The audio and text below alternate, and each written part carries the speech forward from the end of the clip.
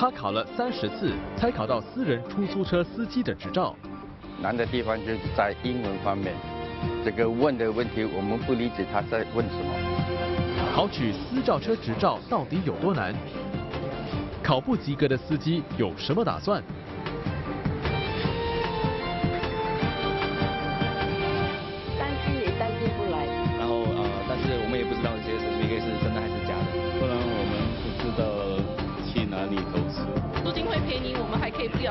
没有办法的，因为就是到时才打算哦，为了生活也是要做了。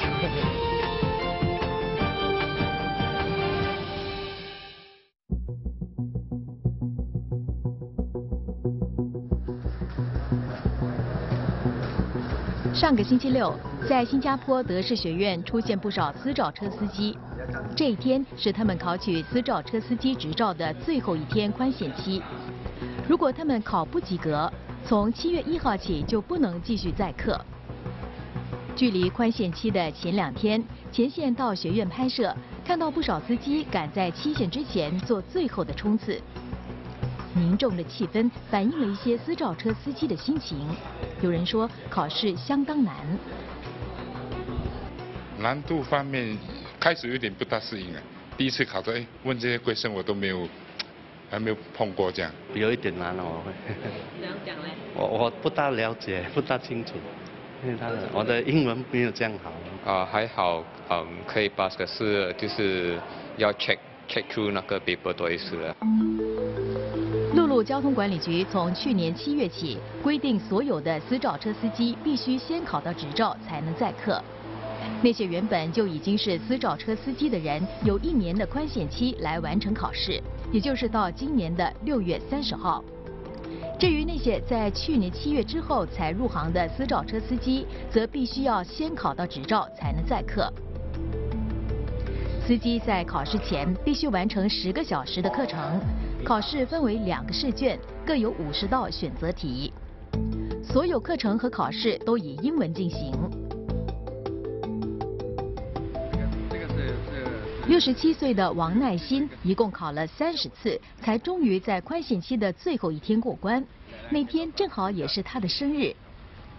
他告诉前线编导，这份生日礼物来得不容易，因为自己的英文不好。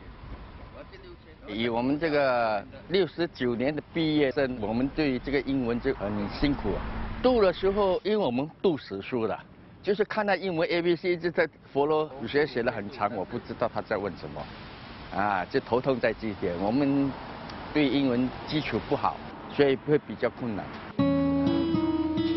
回想上个星期，耐心说，眼看宽限期就要到，自己还一直考不到执照，让他倍感压力。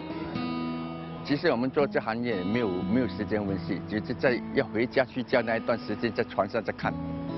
白天如果如果我这一直温习这个东西的话，我的收入就受影响，我的 render 的车也是受影响。到最后的关头，我没办法天天去看，所以在上面的那个礼拜，我根本我没有驾车，那个是没有心情工作啦。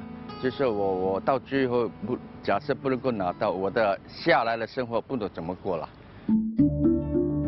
耐心并不是孤立个案。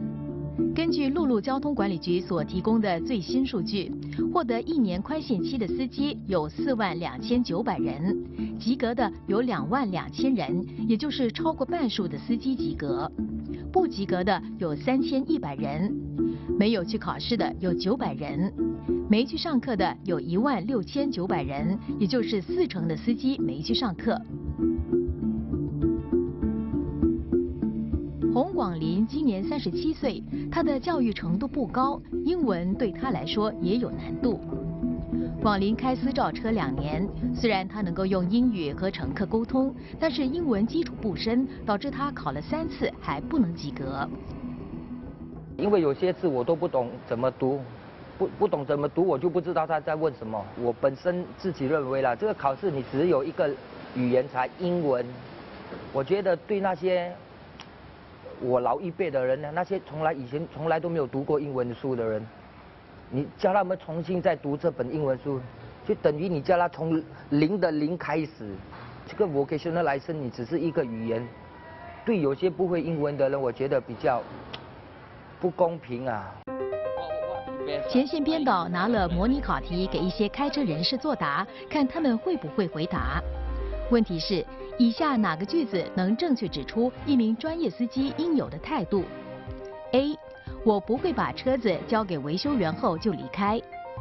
B. 我会花更多时间在路上来赚取更高的收入。C.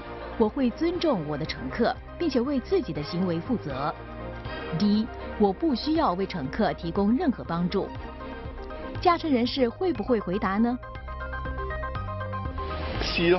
哦，对对，那个就是 C。啊，啊，你会觉得这题哦，这个是它的英文会难吗？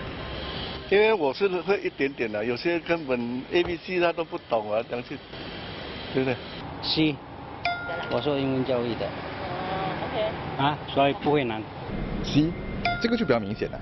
年长人士如果对英语不熟的话，可能这几个字，比如说 chauffeur，可能也不太了解是什么意思。C。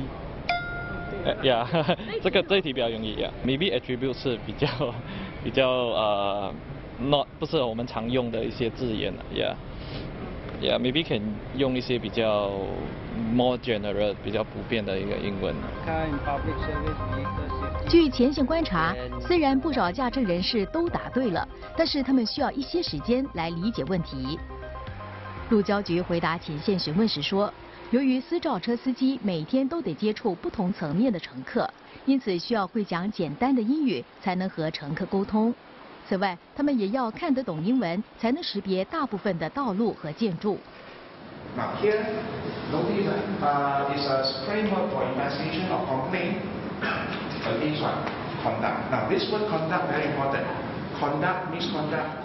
新加坡德士学院的资深指导员说，他们了解到一些年长的私照车司机英文水平不高，所以安排了一些补习班，用其他语言帮助这些司机了解课程的内容。通常进来拿这个 PDPL 来生的学生，英文他们的程度没有高一个水准，所以他们会可能觉得有一些困难。但是，一路来我们都尽量帮忙他们。OK，如果他们不及格的话，我们还有补习班，免费的补习班，帮忙他们啊补习。通常有一些英文字他们不认识的话，我们也用别的语言跟他们解释。